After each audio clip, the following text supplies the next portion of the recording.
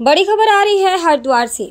आर्यनगर चौक पर केले का वितरण करते हुए कांवड़ियों का स्वागत किया। खबर हरिद्वार से है, जहाँ आपको बताते चले कि आज आस्था की नगरी हरिद्वार में दूर दूर से कांवड़ लेकर आए कांवड़ियों को फलहार वितरित किया गया। बम बम भोले के जयकारों से गंगा तट गूंज उठा। सावन के महीने में हरिद्वार में भारी संख्या में श्रद्धालु जनगंगा का जल लेने आते हैं।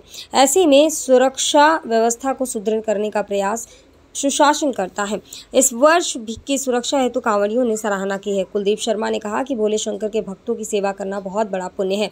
दान से बड़ा कोई पुण्य कार्य नहीं है। कलयुग में दान की शक्ति से आप परलोक और इस लोक में शांति प्राप्त कर सुखी जीवन जी सकते हैं, जिसमें भोले के स्वागत में उपस्थित रहे Puneet Kumar, Shobhit Pal विकासकर Prashant Rajput, HFC bank, Shubham HFC bank, अन्य सदस्य इस पुण्य कार्य में उपस्थित रहे।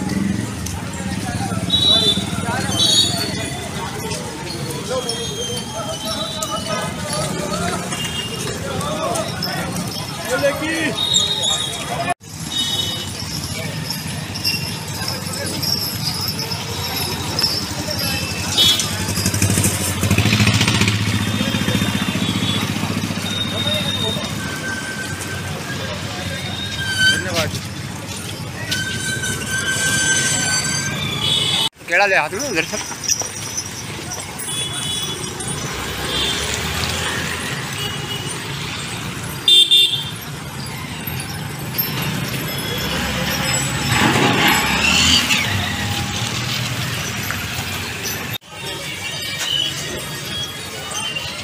लाबा